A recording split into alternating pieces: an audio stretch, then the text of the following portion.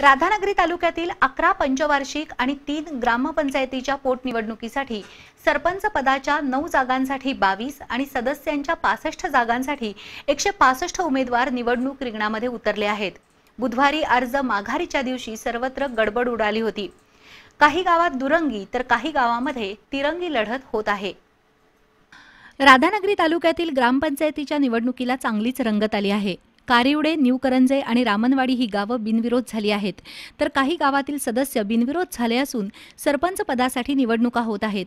माघारीच्या दिवशी पॅनलची रचना करत असताना नेते मंडळींना अनेकांची मनधरणी करावी लागली. संपूर्ण तालुक्याचं लक्ष लागून राहिलेल्या कसबा वाळवे ग्रामपंचायतीसाठी तिरंगी लढत होणार आहे.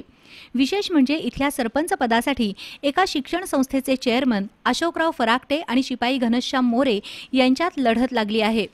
कसबा वाळवे सरपंच पदासाठी तीन आणि सदस्य पदासाठी एक्केचाळीस उमेदवार निवडणूक रिंगणात उतरले आहेत. या गावाची निवडणूक बिनविरोध करण्यासाठी अशोकराव फराकटे भरत पाटील यांनी पुढाकार घेतला होता. मात्र सरपंच पद आणि सदस्यांच्या विभागणीवरून मतैक्य झालं नसल्यानं निवडणूक लागली आहे. सरवडे ग्रामपंचायतीसाठी पंधरा सदस्य बिनविरोध झाले आहेत. मात्र सरपंच पदासाठी दोन अर्ज दाखल झाल्यानं इथं लढत होणार आहे.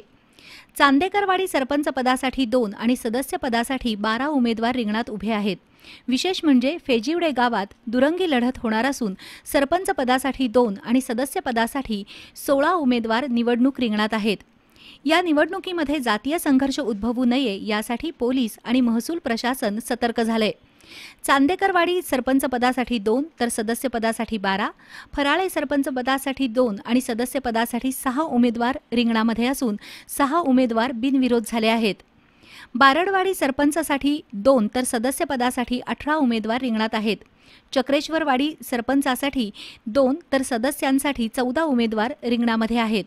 पालकरवाडी सरपंच पदासाठी तीन सदस्यासाठी चार तर मालवे सरपंचसाठी दोन आणि सदस्यासाठी सात उमेदवार रिंगणात आहेत.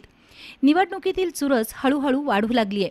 सत्तावीस मे रोजी मतदान होणार असून अठ्ठावीस मे रोजी याबाबतचा फैसला होणार आहे.